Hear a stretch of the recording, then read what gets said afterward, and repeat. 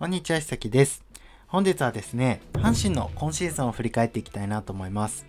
サクオフ、ドリス、ジョンソンというリリーフの柱が移籍。さらに島本選手が手術明け。森谷選手やエドワーズも直前に離脱。岩崎選手も開幕からフル回転が難しい可能性もあり、藤川選手にどう繋いでいくか。実戦でアピールしていた SRS を得たものの、勝ちパターンも不透明なスタートになりそうでした。先発でも高橋遥人選手の離脱、まあ、ガンケルが直前に若干の不安だったり、当初の日程ならガルシアも間に合いませんでした。打撃陣では外国人選手中心で大型補強を行ったものの、もちろん読めないところが多いので不透明な開幕前。戦力は確かに厚くなったとは思いますが、前年に比べると計算がしづらい状況で、開幕してみないと読めないという状況がこれまでより多かったんです。まずは投手、先発。先発防御率が3.38でリーグ2位、QS 率50%でリーグ2。昨年心配された西選手、青柳選手、高橋選手以降の先発で、今季も当初は高橋遥人選手の怪我。ただその中で秋山選手が今季は多く先発し、直球で押すことができていました。被弾もあったのですが、今まで通り四死球は少なく、球速こそ出ていなかったとしても三振を奪えたり、持ち味は出すことができていました。ゴロも取れて長いイニングを投げられ、かつての良さを見せることができ、まあ、昨年の悔しさを晴らしてくれました。ただガルシアは当初好投も勝ち星がつかず、昨年より出力の高さを感じていたのですが、中盤にチームの勢いを止める大量リードからの失点。その後は少しずつ信頼も失っていった印象があります。エドワーズらの復帰もあって、1軍での起用が減っていきました。また藤波選手も1軍の先発に戻ってきて、好投もあったのですが、味方のエラーから崩れたり、あと一歩というところで勝ち星を逃したり、痛恨の一打というケースもありました。その後リリーフで素晴らしく、最終盤は再び先発に。ただ岩貞選手は開幕から好投もあったのですが、投手に打たれてしまってから失点だったり、内容の悪いケースも目立っていました。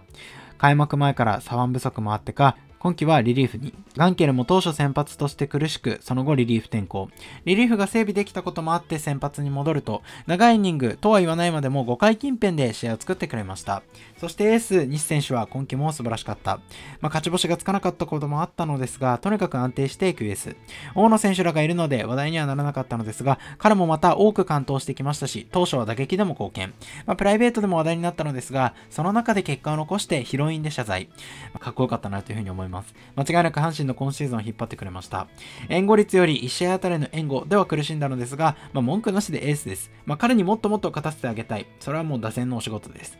また、青柳選手も後半はやや失速気味も、当初は多く試合を作り、持ち味を発揮。悪天候の中でも結果を残したり、勝ち星がつかなくても先発で1年間戦い、規定到達というのは素晴らしいです。そして怪我から出遅れた高橋遥人選手が復帰してからものすごいピッチング。彼もまた援護に恵まれなかったり、長いイニングを投げながら勝利が少なかったり、終盤はやや早い回での2打や四死球にも悩んだのですが、強い直球、カット、ツーシーム、スライダーなど、同じ球速に見せた変化球など、本当に素晴らしかったんです。来季は開幕から1年間ローテーションを守っていきたいところ。チーム全体で先発能力は高かったものの、高橋遥人選手の怪我、さらに岩貞選手の先発としての不振や、藤浪選手やガンケルらが定着ならず、ローテ投手は超優秀なんですが、まあ、今季は5、6番手以降が課題。まあ、ただ秋山選手の復活というのが本当に大きく、まあ、来季以降、先発は武器になっていくんじゃないかなと思います。そして中継ぎ。今季のチーム防御率は3.39でリーグトップ。まあ、開幕後早々にエドワーズが離脱。さらに島本選手、守屋選手が計算できず、岩崎選手のフル回転も開幕前は難しいと予想されていました。実戦で良かったスアレス、そして抑え期待の藤川選手やルーキーの小川選手、そして2軍で結果を残してきた谷川選手や福永選手、斉藤選手ら、そして左で飯田優也選手らの起用も予想していました。ただ始まってみれば、スアレスが圧倒的な投球、抑えの藤川選手が苦しい投球や一発、その後怪我で離脱。さらに能見選手もストレートで押せなくなってきていて、球速こそ出ていたもののリリーフ定着とはならず、ワンポイントやビハインド、火消し、まあそれでも結果としては正直苦しかったんです。まあ、ただシーズン途中でファームで先発調整していたガンケルをリリーフ起用、そして圧倒的な投球をしていたスアレスを抑え起用。まあ、伊藤和雄選手らをテスト的に起用してきたわけですが、馬場選手が一時的には勝ちパターンにもなりました。岩崎選手の離脱もあった中で穴を埋め、その中で先発からリリーフに回った岩貞選手も便利起用に応えてくれました。そして終盤には藤波選手をリリーフとしても起用し、藤波選手、スアレスというもう暴力的なスピードのセットアップ、クローザーに。さらに岩崎選手は今季も安定感抜群で、140キロ中盤のストレートで空振りを取っていく。本当に見ていて気持ちいい投手なんですよね。高橋遥人選手岩崎選手、僕大好きな投手です。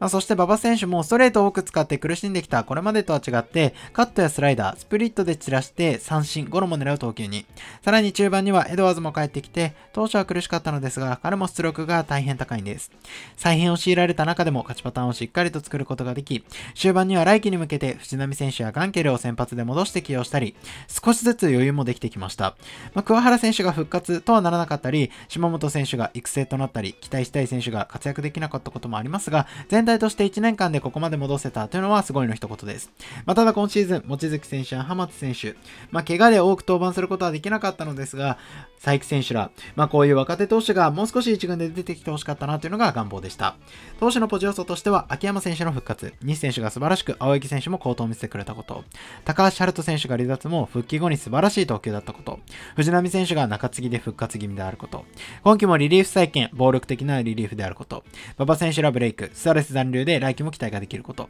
今季も失策ワーストの中で投手陣は本当に抑えてくれたこと、こんなところでしょう。願い要素としては先発5、6番手が課題であったこと、えー、ガルシア、ガンケルら先発外国人が先発として定着することができなかったこと、藤川選手、能見選手らベテランが苦しく対談になってしまったこと、まあ、期待の若手投手たちが定着とはならなかったこと、こんなところでしょう。そして打撃陣ですね。チーム打率2割4分6厘でリーグ5位、本塁打110本でリーグ4位タイ、OPS7 割2厘でリーグ4位、得点圏打率2割5分8厘でリーグ4位、得点494でリーグ4位と、ほとんど4位でした。今季獲得したサンズとボアをどう起用していくか、またマルテ含めて外国人選手をどうするか見ものではあったのですが、まあ、開幕前からこの2人が不安。まあ、実績や期待値もあって、ボアは4番で開幕に挑んだのですが、サンズは2軍。マルテは実績もあって、実戦でもまずまず、そして開幕から1軍でもアピール。なんと昨年、チーム2冠王の大山選手が開幕スタメンを逃したんですよね。当初は代打起用でした。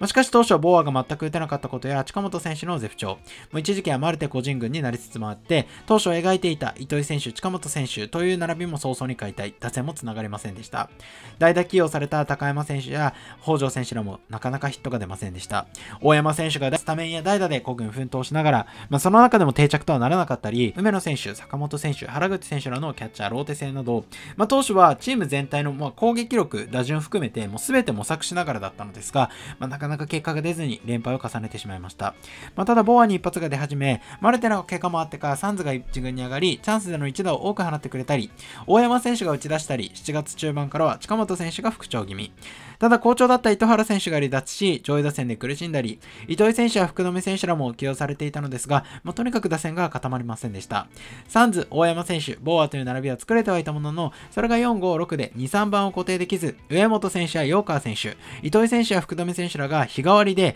上位打線に起用されるんですが、終盤には代打を出されるということもあったんですよね。まあ、やはりそれなら一つずつ上に詰めていってほしいなとずっと思っていました。まあ、夏場終盤には大山選手が苦しんだり、ボーアが全体的に不安定になっててしまったり、4番をサンズ、下位打線にボーアというケースもあったのですが、まあ、1年間本当に打線を固められなかったというのが大きな課題でした。まあ、最終盤には近本選手、糸原選手、サンズ、大山選手、ボーアだったり、まあ、ボーアの対談が報じられてから、近本選手、糸原選手、マルテか糸井選手、大山選手、サンズだったり、まあ、順位が決定的だったこともあって模索していました。まあ、今季も打撃陣で苦しんだ阪神ではありますが、まあ、最大のポジ要素としては、大山選手の打撃力が大成長したこと。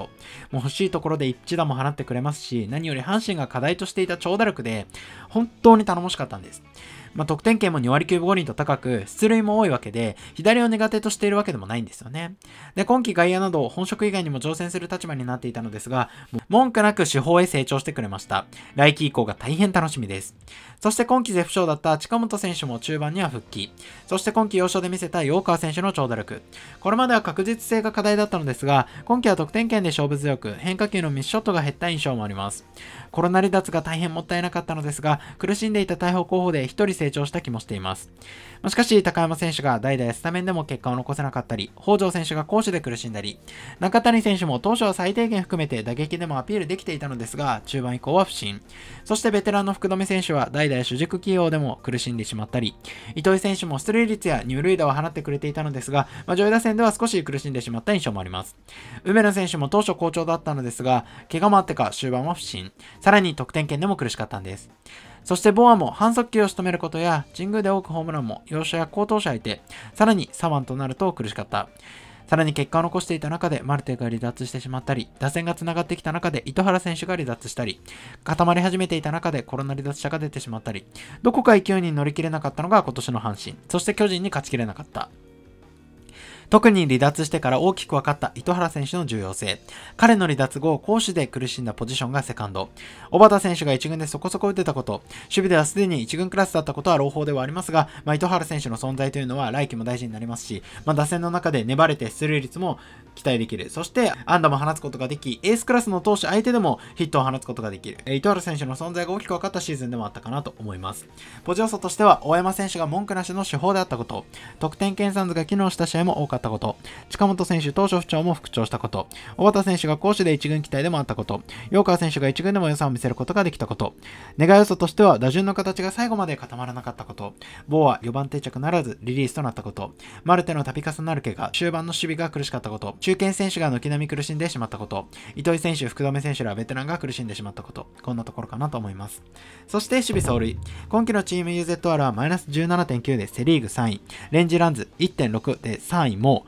失策数85で、まあ、リーグワーストでした。まあ、今季は序盤から木浪選手の守備力が改善されてるなという印象もありました。モバタ選手も少ない試合出場でエラー9で最多ではありますが、広い範囲を見せ、二遊間どちらも守れることっていうのは素晴らしいなと思います。判断能力や送球含め、1軍クラスであることは分かったのですが、北条選手がエラーを連発してしまったり、セカンド、糸原選手離脱後、二塁守備が課題であったり、もちろん UZR は近本選手が爆上げしたことも大きいわけではありますが、まあ、今季は大山選手の失策も6と、昨年年より減らすことができた選手もいました。ただ、ボーアが8失策、さらにマルテが、まあ、出場試合数は極端に少ない中で7失策だったり、もう内野全体でイージーミスも多かったんです。両翼でもサンズや糸井選手が起用され、近本選手のカバーあって、なんとかなっていたのですが、まあ、近本選手のカバーリング等はもう本当に課題でした。改善気味とはいえ、守備も来季課題になります。そして機動力。盗塁数80でリーグトップタイ。UZR4.8 もリーグ2。UBR4.8 もリーグ2。昨年から引き続き、近本選手の機動力を生かした攻撃は積極的に行うことができています。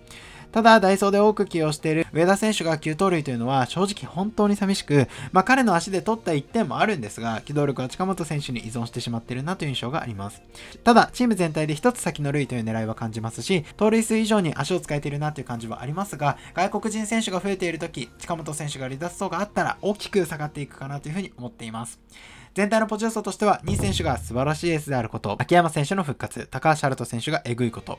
中継ぎ再編、馬場選手のブレイク、勝ちパターンが暴力的、得点圏サンズ、大山選手が主砲へ、ネガ要素としては、岩貞選手、ガンケル、藤浪選手、先発が定着できなかったこと、ただ彼らがリリーフセットアップになれたというのはポジ要素でもあるかなというふうに思います。藤川選手、能見選手、福留選手らベテランの不振、野手中堅勢が軒並み主張、失策は今季もワースト、期待されていた若手投手が一軍定着できなかったこと、こんなところでしょう。全体としてはこんなところ。阪神は外国人選手の補強もですが、企業面でも大きなチームの入れ替えがありました。もちろん計算外なこともあったり、野手はまだ課題ではありますが、2年連続こうやってリリーフを再建できるのはすごいことで、小川選手や斉藤選手ら期待の投手も出てきています。そして大山選手が手法として成長してくれたのも大変嬉しいこと。今季も外国人選手を入れ替えるそうで、来季もまた別の形でチームを運んでいかないといけないわけですが、スターレスは残留で後ろが固まりそう。藤波選手や岩貞選手らの起用なども注目ですが、打線線の形もそろそろ固めたいところです。以上が本日の動画でございます。ご視聴ありがとうございました。